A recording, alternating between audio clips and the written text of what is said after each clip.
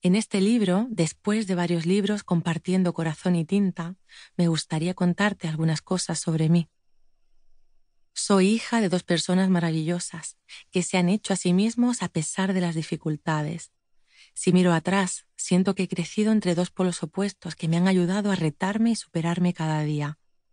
Sirva este libro como homenaje a ellos y mi gratitud infinita por la vida y los aprendizajes de vida que me han dado. Todo lo mío es vuestro. Os amo. Hace más de 20 años que soy psicóloga. En estos años he cambiado tanto que soy la misma, pero no me parezco. Mi vocación es creer en las personas y ayudarles a conectarse con su magia interior, esa que no ven, esa que tampoco yo sabía ver.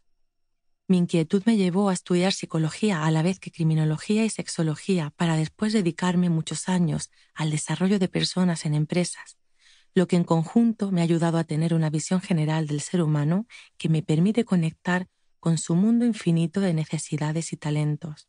Y desde ahí he podido aprender que amor es lo que más necesitamos y lo que menos nos enseñan. El día que nació mi hija, me di cuenta de lo realmente alejada que estaba de mí. Vivía desconectada de mí misma con una vida en la que parecía que todo estaba en su lugar, menos yo. Cuando nació mi hija me pregunté, ¿quién soy yo y qué puedo darle? Y tuve una crisis personal que me hizo cambiar, romper y saltar.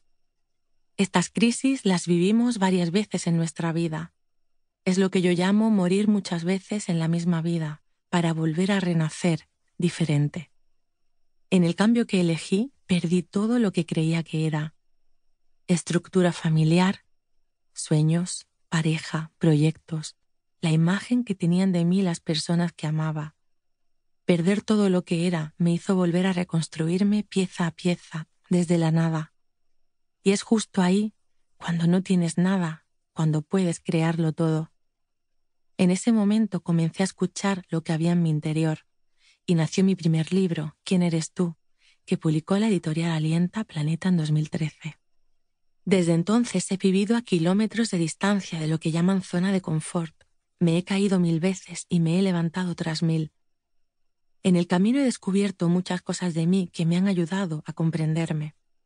Comprender, por ejemplo, que mi mundo interior reflejaba con un eco a veces insoportable el mundo exterior, a causa de la alta sensibilidad que multiplicaba por diez el dolor, las emociones, pero también el amor y la apreciación del mundo que nos rodea.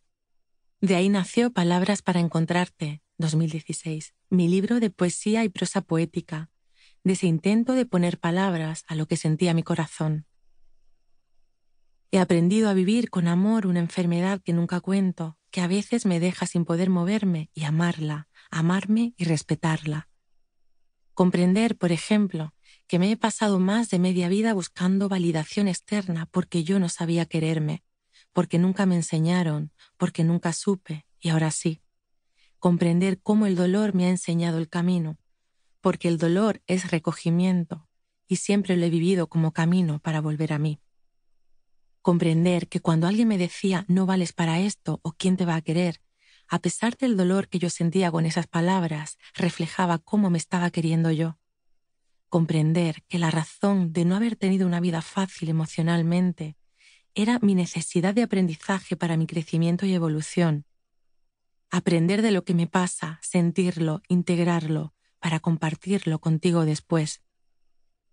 En el camino he aprendido a confiar, a soltar el control ilusorio con el que vivimos, porque la vida tiene sus planes, su ritmo, sus procesos, y todo llega, te resistas o no. Hoy siento que estoy aquí con un propósito, que todo el camino recorrido, con las caídas y las lecciones aprendidas, tenían un sentido. Miro a mi hija y me gustaría que aprendiera a amarse antes de lo que lo aprendí yo, y por ella y por ti he querido escribir este libro. Porque cuando tú te ordenas por dentro, todo se ordena por fuera. Y cuando tú encuentras tu lugar, el mundo también te lo da. Y cuando tú te aprendes a amar, los demás también saben cómo hacerlo. Sé lo que es no saber quién eres y encontrarte, tener que elegir entre creer en ti o escuchar a los que te dicen que no, elegir ser valiente cuando...